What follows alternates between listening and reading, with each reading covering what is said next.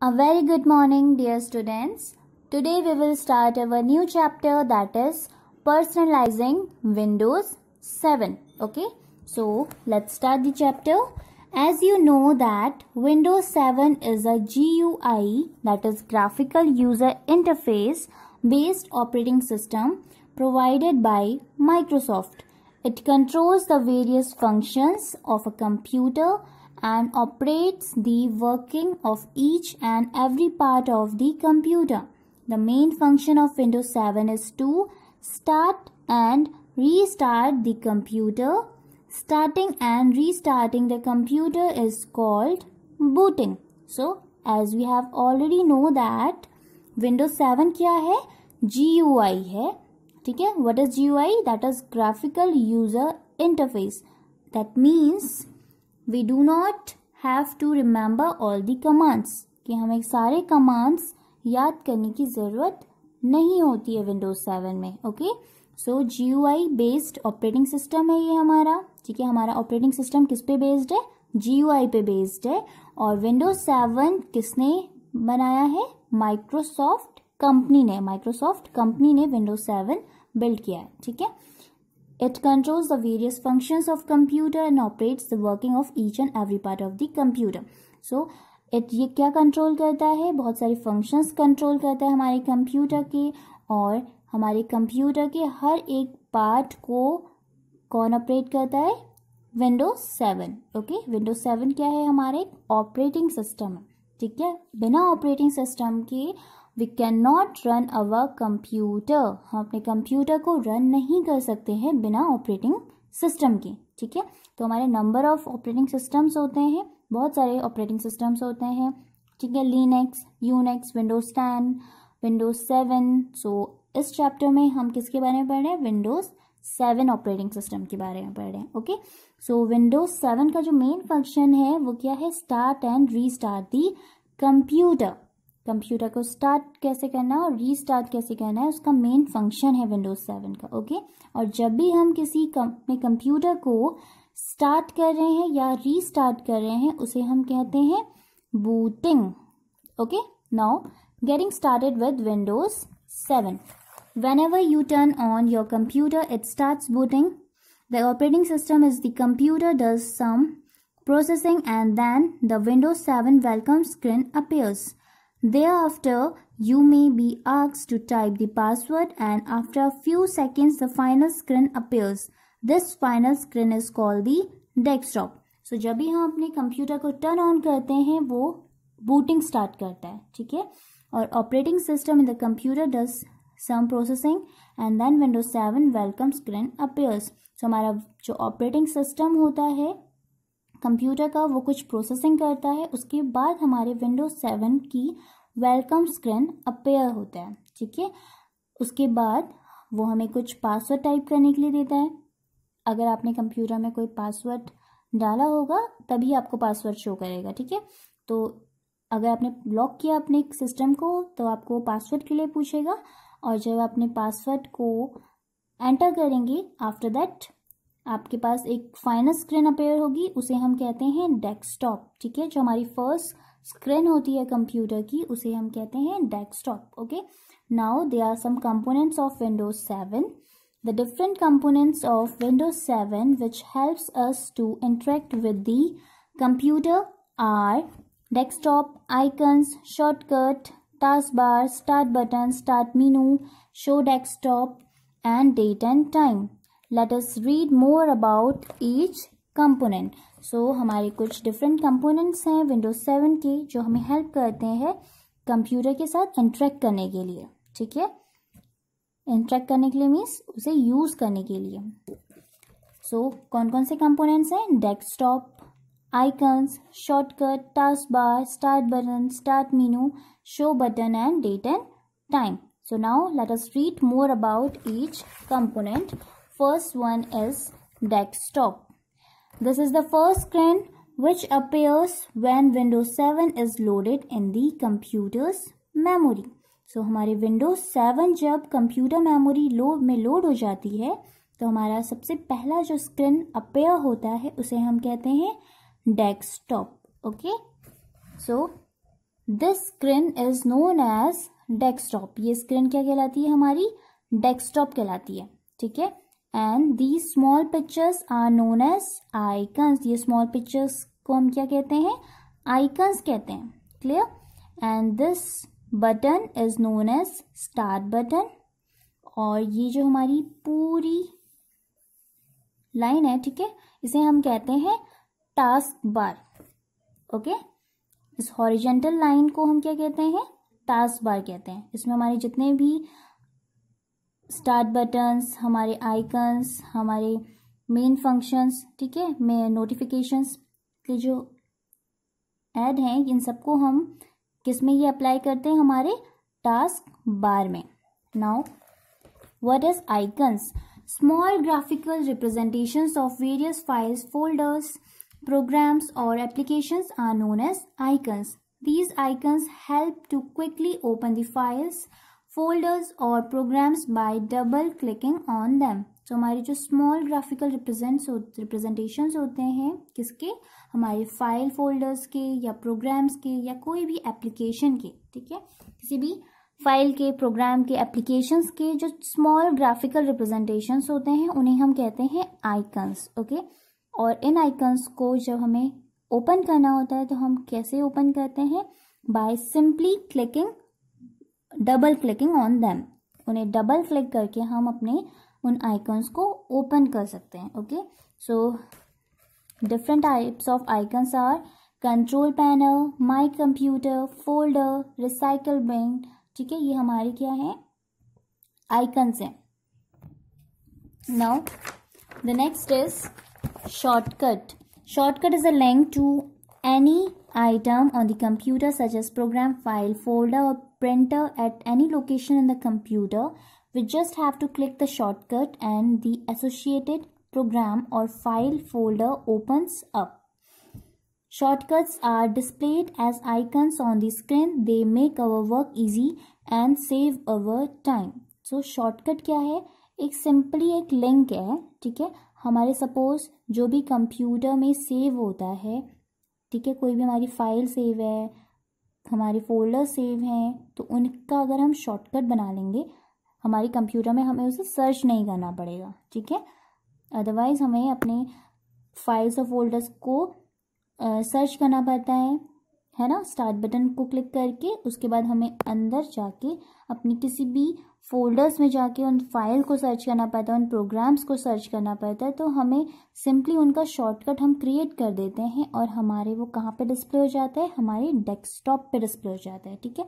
तो ये हमारा वर्क बहुत ईजी कर देता है, क्योंकि हमें इसे फ़ाइल को सर्च नहीं करना पड़ता है और इससे हमारा टाइम भी सेव होता है okay now what is task bar It helps to manage the various currently active programs open in different windows. We can switch between these programs by clicking their buttons on the taskbar.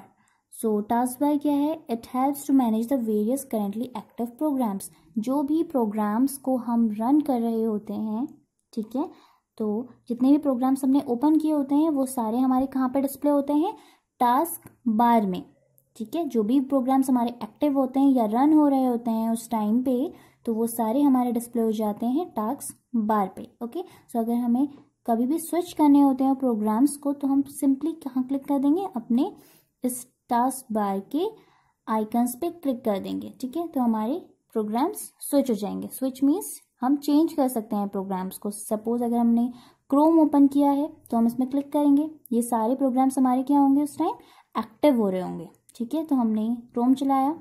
Chrome open किया। Suppose हमें इस programme को switch करना है अपने adobe से तो हम इस एडोब पे क्लिक करेंगे और हमारा एडोब वाला प्रोग्राम रन होने लग जाएगा। वैसे बेसिकली हमारे जो प्रोग्राम्स होते हैं, ये साइड से रन ही हो रहे होते हैं, ठीक है? बट हमारे जो फ्रंट स्क्रीन में कौन अपेयर हो रहा होता है, जिसे हमने क्लिक किया होता है।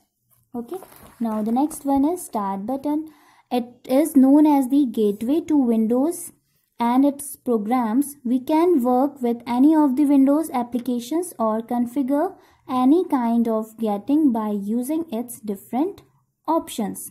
तो स्टार्ट बटन क्या है हमारा it is known as the gateway जिसे हम एक गेटवे कहते हैं to Windows and its programs किसी भी प्रोग्राम्स को रन करने के लिए हम किससे स्टार्ट करते हैं अपने स्टार्ट बटन से ठीक है we can work with any of the Windows application और configure any kind of setting by using its different options so अगर हमें कोई भी एप्लीकेशन रन करना है या फिर कोई भी हमें सेटिंग्स करनी है तो हम किससे जाके स्टार्ट करेंगे? अपने स्टार्ट बटन से okay now the next one is start menu It is divided into two planes, left pane and right pane. The left pane is used to access programs or to search files folders in the computer and the right pane gives access to some common folders like documents, pictures, music, computer, etc.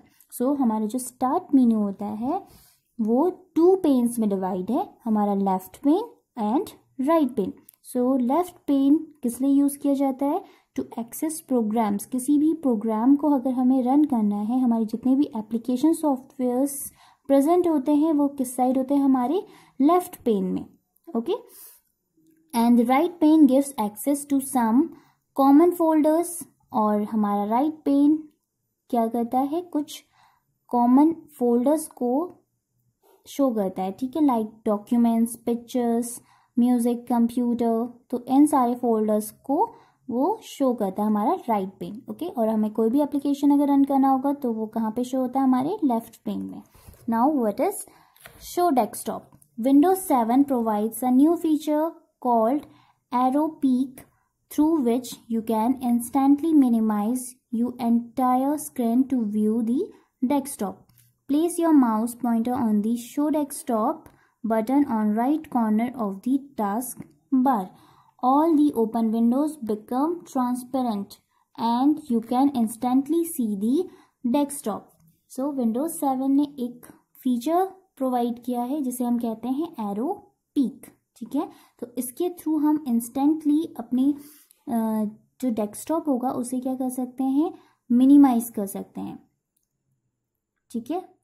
अपने desktop को view करने के लिए हमने जो भी अगर suppose applications run कर रहे हैं, उस एप्लीकेशंस को वो क्या कर देगा? इंस्टेंटली मिनिमाइज कर देगा और हमारा क्या शो होगा? डेस्कटॉप शो हो जाएगा, ठीक है?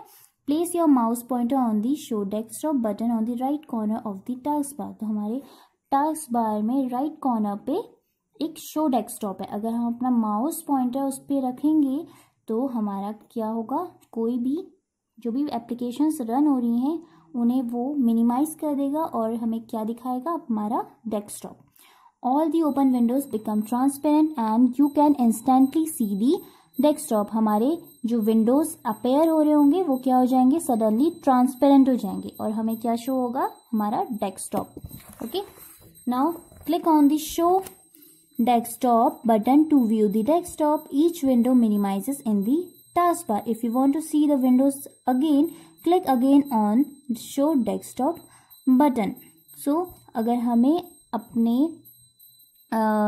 मिनिमाइज करने अपने सारे विंडोज़ को तो हम किसमें क्लिक करेंगे? हमारे शो विंडो को, ठीक है? This one is our show desktop sorry तो शो डेस्कटॉप बटन को हम क्लिक करेंगे अपने डेस्कटॉप को व्यू करने के लिए। तो हमारे जितने भी विंडोज़ होंगे, वो क्या हो जाएँगे? मिनिमाइज हो जाएँगे हमारे टास्क बार में। हमारे टास्क बार में मिनिमाइज हो जाएँगे।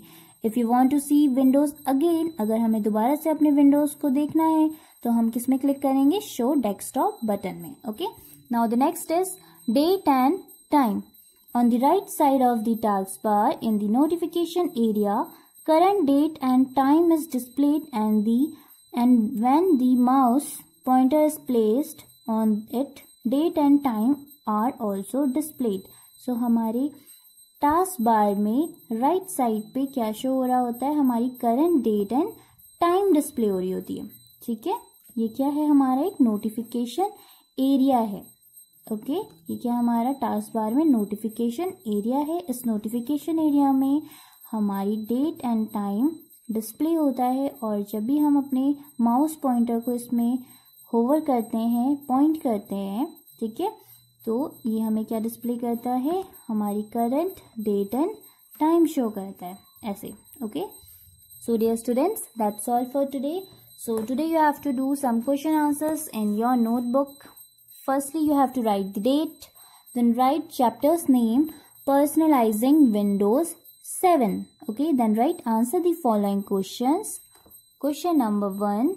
What type of software is Windows 7? Windows 7 हमारा किस टाइप का सॉफ्टवेयर है So write the answer. Windows 7 is a GUI graphic user interface based operating system provided by Microsoft it controls the various functions of a computer and operates the working of each and every part of the computer.